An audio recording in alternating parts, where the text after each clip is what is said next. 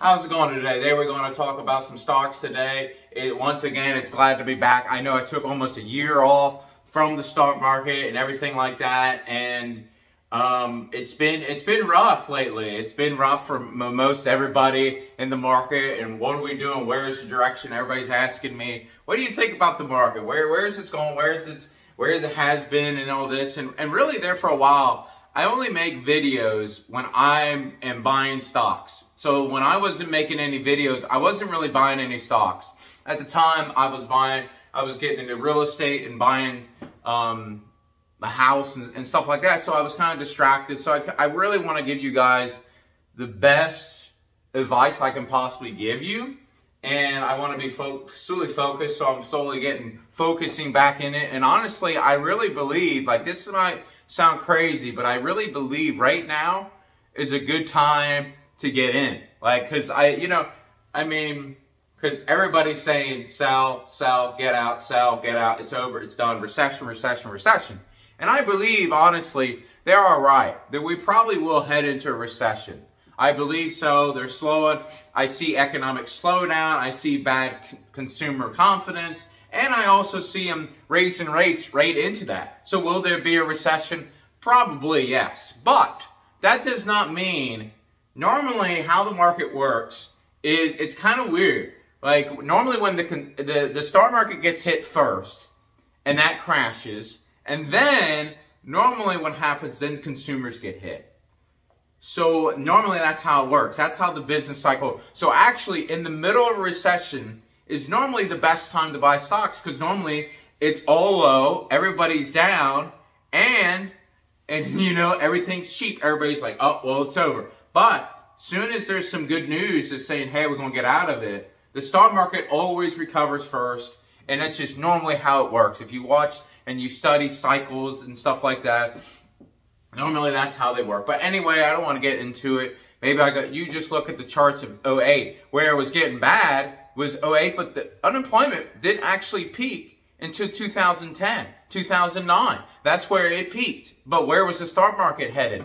You look at the chart for 2009, it was all up. 2010 also, but consumers were getting hit too. And it, and you can and, and see it in multiple um, charts of the stock market. Normally, the stock market recovers faster than than the economy. I look at the uh, 2020, the stock market crashed, and then consumers got hit you know, hard. But by the time everybody was like, well, the economy sucks, guess what the stock market was doing? It's going straight up. So normally when you see the market dip, then the economy normally follows second, and then the consumers get hit. And we're really not, we're not there yet, but I believe we eventually will. But anyway, I believe it's still a good time to buy stocks. And, and I bid, uh, um, I made a list of 10 that I'm buying, I'm looking at if they dip any further. But be warned with this you will probably lose money within the next couple months or maybe the whole year. I, am not going to sugarcoat it. You probably will lose money if you buy it, if you rush out right now and buy it and everything like that. Then you can say, well, why are you making the video now? I don't want to lose money. And be first, I would tell you with 100%, you're not going to time the bottom. You will not time the bottom at all. Basically, I'm giving you companies that I believe are in a good position that are cheap on on a metric scale, you know, on a on a valuation scale. They're good companies, but they're they're lower in value and they're cheap, um, and they have good balance sheets. They have good companies, and they're just well-run companies that just got clobbered for for no reason. It's almost like, do these people even know how to evaluate a company properly? I don't believe they do. But anyway, we're gonna get right into it. Actually, the first number one pick is actually not a stock actually at all. It's an ETF, which basically is a lump of stocks and everything like that. It's the S&P 500. I think it's a good position, and I, I believe everybody should have in their um, portfolio, stock portfolio, if you're building a portfolio right now, is to have the S&P 500, the SPY, or that's the Spider Index, and they have Vanguards. I think the o, the VOO or just the standard S&P 500 fund should be a good entry point right now. But be warned, you probably will lose a little bit of money first. It, it's not going to go, it's not, this is not the bottom. It's going to go like this. It's probably going to go, it might, it might rally a little bit, then pull back. And there's still some negative news And every single time there's negative news, it, it goes down. You know, and the Powell already kind of said, everybody knows there's going to be a recession.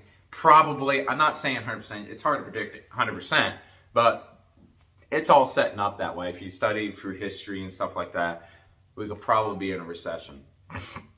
But the stock market's already down 20, so will the S&P maybe hit maybe a 30% drop, maybe 10, 20% more? Maybe, maybe. But I believe you can't really predict where it's going to go, like I said. So it's a good time to buy now because you are getting good prices for it. But anyway, the next one, the next one is the, the NASDAQ um, um, ETF is QQQ, basically um, triple Q as we used to call it. But anyway, it's always and this thing's down 30. Tech is getting clobbered, but let me tell you something right now. Tech is the first to go and the first to get back. Because normally, th this is what happens. Normally, everybody has big profits in tech. They sell it. As soon as they see the market go down, they sell it. Why? Because they have to get out of the market. They have to secure those profits for their, for their shareholders, for their clients, and they don't want to lose the money. They don't want to lose money, so tech is the first to go. But then, when the market's going up, and, and, and it's like, okay, where am I going to go? I'm going to go back into tech because that's where the money's at. Or the growth stocks. And the majority, where is the growth stocks? In technology. You know I mean? Long, long time ago, growth stocks are not always technology, but majority in our technology age, ever since the 90s, technology is where the growth stocks are. So, I mean, that is one I recommend. And now get into the single, the single stocks that I think are, are posed for a big, uh, I shouldn't say big rally, but they could have it. They could come down a little bit because, like I said, we're kind of going into a kind of rough, you know, kind of territory. But these companies, I believe, will eventually do. And the first one is Google. You know, I love Google. I've been a long-term shareholder of Google. Oh, Google is a great company. It's easy to really understand what they do. They basically sell ads. Think of every single time you believe the economy is going to be good. It's a good it's a good economy play, basically, because but be warned with Google.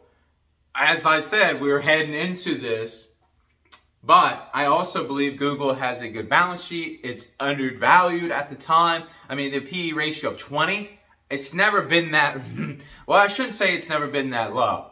But, I mean, 20 for Google, and it's really on a cash flow basis, almost undervalued. So this is probably the cheapest Google is probably going to go based on PE ratios. Now, like I said, because the PE ratios, it's a flexion of earnings. So can revenue slow and earnings go up? Absolutely. You know, so PE ratios are not very the best indicator to look at, but it's an indicator that I believe Google, right now, if you buy Google, especially once it splits, I think it's a great stock to have in your portfolio. The next one might be controversial, but I'm just going to say it, is Facebook. Facebook has never been this cheap. I mean, this thing is at trading at 12 times PE. so it's like this company is trading like a hardware company. This company is, I, I, I don't even know, I mean, for uh, how the profits are, the balance sheets, and everything like that, I believe Apple or, or Facebook is one to, to jump on. You know, I mean, it's growing. Now, there are some growth issues with it, but you're really not putting a whole lot of risk. Every, every single time you have to understand risk is basically how low can it go to how high it goes. And you want to normally, if you're going to put, let's say, $1,000 down, you want to at least make money on that $1,000. So basically, let's say the risk of it, of dropping to 500, you lose half your money, It's pretty high. But you can only gain 20%. That's not a good investment. That is, that is not very good risk management. You know, so it's like, well, there's a flip of a coin, I'm going to lose 50 or gain 20. That's not a good that's not a good risk management strategy to do. And I wouldn't recommend that one bit of doing. Because then it's like, well, you lose. So you want to at least, like Facebook, how far can it go? Well, it can go to zero, obviously. You know, and every single company could go to zero. But if you look at the book value and the cash flow valuations and the company, what it's doing and where it's growing and stuff like that. So I really believe Facebook is a good entry point. But the next one on the list is Apple. I think Apple's always been the the, the company to, to be in. Um, it's always been a good trade. It's a cash flow machine. I mean, this thing just, it's it's just basically the quickest thing to do is just print, it just prints money. I mean, legit, that's legit, it's a cash flow. I mean, you look at the cash flow of Apple, it's massive. I mean, it, it just keeps coming. So, and it has all these revenue streams. And Apple's a good ran company.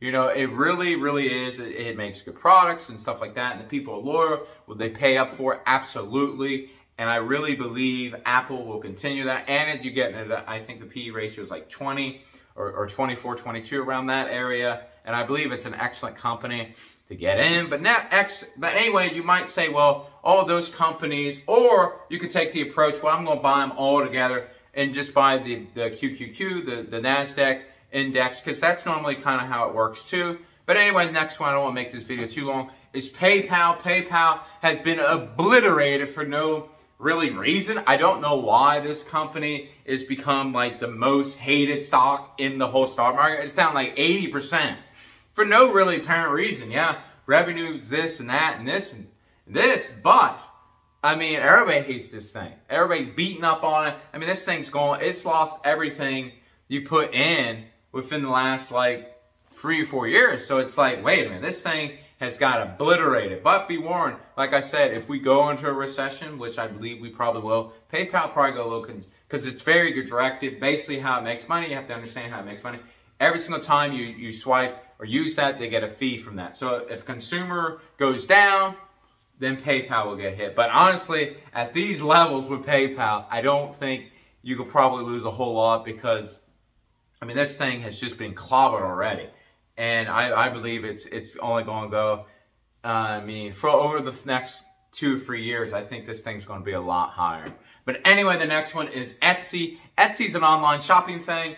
And this thing's got clobbered for the last couple things. And these things have just been beaten down. They've just been hammered and hammered and hammered and hammered and hammered for no apparent reason. Well, I mean, really with this tech sell-off and all this, but really the company's still growing. The company's still doing well. Yeah, it has some, it's slowing down, yes, technically it is, but it's going off of, of a vast base. I mean, this thing, these things were growing at massive pace and so, yeah, they're, they're going to get hit. And did they get overstretched? Absolutely. You know what I mean? that's why I really wasn't recommending anything because they were getting hit. They were getting, whoa, wait a minute, what are we doing? It's just a, it's an online company. It's not like, eh, you know, P ratio of 200. It's like, whoa, wait a minute. You know, I mean, you have to sit back. But on a cash flow basis of Etsy, growing the way it's going, this company is really, honestly, a, a great buy. And next one is Adobe. Adobe is a software company and I made a video on this one uh, years ago and always been a good winner. And this one's, the next two are the ones I always buy when the stock market gets hammered is Adobe. It's a, it's a classic play. And this thing's gotten clobbered for no apparent reason.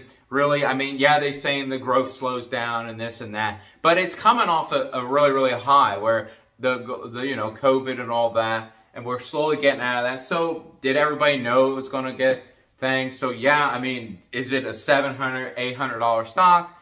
You know, where it was going? Probably not. It can't sustain that. I mean, it can't double every year. I mean, that's just anybody that was thinking that and paying those high valuations wasn't really understanding the business. But now, is it fair value? I think so. And that's really what all these companies are. I'm not saying they're going to explode higher or this or that, but I'm just saying they're fair value for the situation that we're in.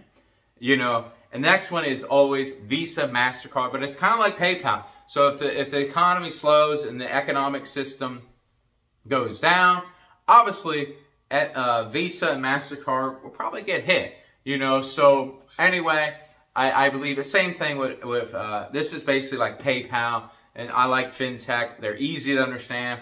They do good when consumers are doing good. And I believe we're in a consumer-based economy. Obviously, we are. That is not I think that is what we are. and, uh, and I believe consumers, they always say, eh, they're doing bad, they're doing this. I, I'm telling you, consumers are doing pretty good. And I believe over the next couple of decades, consumers will do well. And maybe I can make a separate video of my explaining why I feel like the real estate market's not going to crash. It might slow. It might slow, but is it going to crash? No, there's too many buyer. There's too many buyers out there for the thing to collapse. But anyway, in this day, you know, that could change. That could change. But anyway, the next one is NVIDIA. NVIDIA is a, computer uh, computer chip company I spoke about a million one times. Who doesn't know NVIDIA? I mean, if you don't know NVIDIA, I, I don't know what to say. I mean, this company is great. And the valuations are cheap. The valuations for NVIDIA, if you want to get NVIDIA and you've been waiting, I think this is time to start buying and start to nibble. Buy a little bit, maybe it could go down a little bit, buy a little bit more. And but these companies, these are when when the bear market hits, these are the companies. Now, these are the companies to buy when the economy kind of goes, you know what I mean, or when the uh, the stock market kind of goes blah. You know what I mean? Because I don't really believe in, in in rotating and all this and all that. Because a lot of people do that. I'm gonna make a separate video of what I do in a bear market or correction. But anyway, thank you for watching and everything like this. Thank you.